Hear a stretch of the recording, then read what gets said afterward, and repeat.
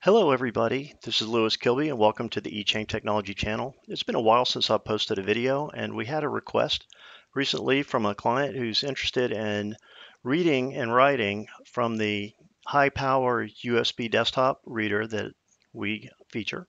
You'll see it on your screen and it's $225. It's a great deal. And what we're going to show you today is reading and writing to the EPC tag ID as also to the user bank which is typically not accessed, uh, but there are cases where it's important to do that, and we're going to show you how. The reader application comes with the reader, does not require additional purchase. It's connected right now to the USB port. I think we're connected to COM11. We're going to hit connect. You'll notice we get the connect message at the bottom. You can press get to get your firmware version. And what we're going to do is we're going to read a tag and we've got a couple of different ways of writing the tags in this system. But what we're going to do with this one is I'm going to show you kind of this access write tag tab here, which is uh, read tags and it's the fourth tab over. But let's start by reading the, the inventory. We'll refresh the screen. So we've got zero tags in the buffer. We'll start, uh, click the inventory button. The reader is now searching and it's already found this tag because it's within 10 or 12 feet of the reader. But I'm going to put it really close. Uh, the EPC does end in 76D1 and I'm going to stop it. So all you need to do is read it long enough so that the tag ID is in the buffer. We'll come over here to access write tag and we'll select that tag from the list. Notice it's the same one, D1, and select. Now, you'll notice that the checkbox selected tag matches, right? What we're going to do is we're going to, for instance, we're going to look at the EPC ID and we're going to read it. So the default is start AdWord 00. Actually, when you load this software, it's going to start with uh, your word 02. And this is all in the instruction manual. And we're going to read six words. You'll notice that when we do this, We've got the EPC. This is your results screen down here. You'll see the EPC ID starting with E2 ending in 76D1. It's a hexadecimal 24 characters. You'll notice the data that we've read, D1. Now, if we want to read fewer characters, we can drop this and say 4. And when we read, you'll notice that we're only getting the four, first uh, four couplets, right? So these four characters equal a word. So E200 uh, 4084 39 uh, 050014. And from this screen, this is how we would actually write and change and overwrite basically the EPC tag ID. Now, what I'm going to do, we go back to six. You'll notice that reading six, a length of six gives us our 24 characters. Now, this particular exercise is going to read the user bank. So the user memory bank is a different location on the chip itself, on the RFID chip. And so we can get that information by selecting user.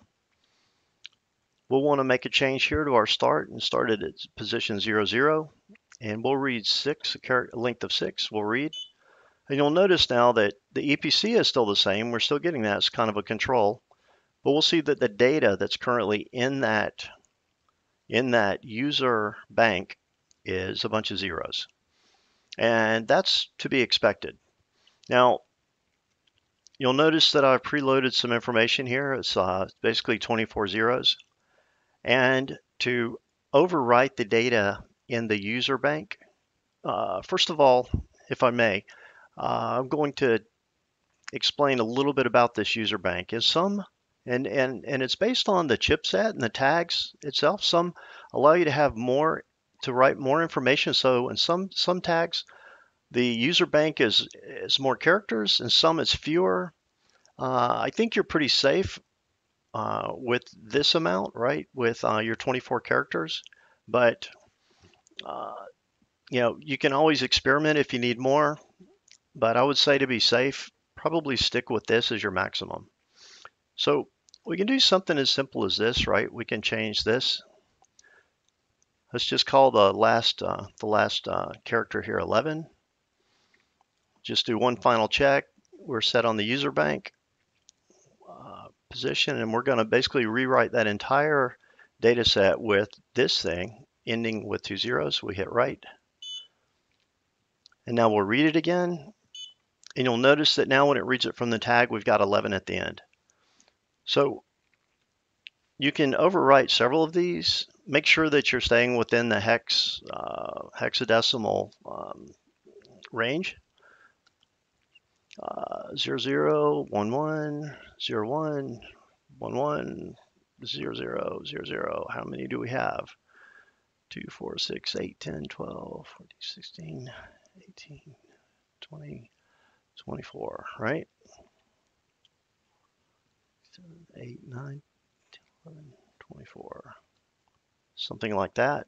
We can write it, read it, and you'll now notice that what we've done is we've rewritten the user bank with this information, AABB 0011 01 11. Anyway, you see where we're going?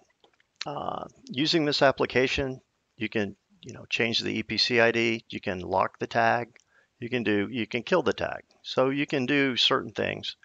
Uh, it's very flexible. Uh, on another video, we show you this is a kind of a, a write tag uh, where we're write, overwriting the EPC, and it's a little bit of an easier application or a different functionality. But this is focused primarily on overwriting the EPC IDs, whereas this one gives you more control to overwrite the other IDs as well.